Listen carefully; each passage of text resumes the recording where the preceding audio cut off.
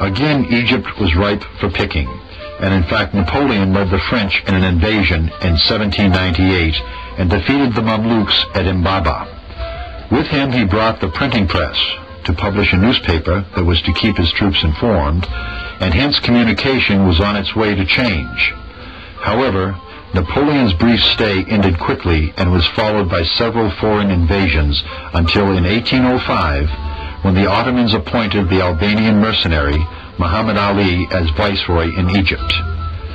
In 1811, Ali threw a party for the Mamluk leaders at the citadel, where he had hidden soldiers behind the curtains of the dining room.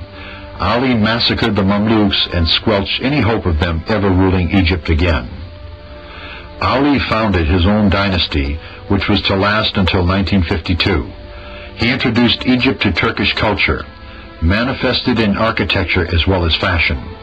His mosque at the Citadel is one of Cairo's most awe-inspiring sights.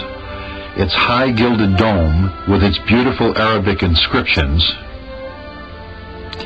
demands reverence as the echoing silence resonates throughout.